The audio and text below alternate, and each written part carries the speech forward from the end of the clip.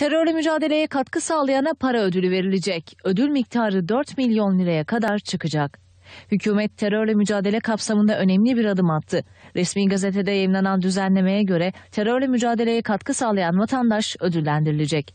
Ödül miktarı sağlanacak bilgi, aydınlatılan suç veya ihbar edilecek fail dikkate alınarak 200 bin Türk lirasını geçemeyecek.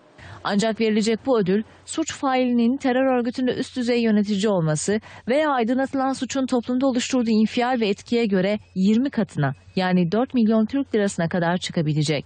Eğer verilen bilgi birden fazla suçun aydınlatılmasına veya birden fazla failin yakalanmasına yardımcı olmuşsa her suç ve fail için ayrı ayrı para ödülü verilecek.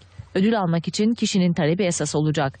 İhbarda bulunan ya da bilgi sağlayanlarla ilgili bilgiler gizli tutulacak. Ödül sisteminden Türk vatandaşı olmayanlar ve geçici köy korucuları da yararlanabilecek.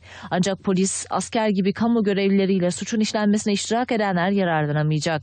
Ödül miktarları oluşturulacak ödül komisyonu tarafından belirlenecek. Ödüller İçişleri Bakanlığı bünyesinde oluşturulan kaynaktan karşılanacak.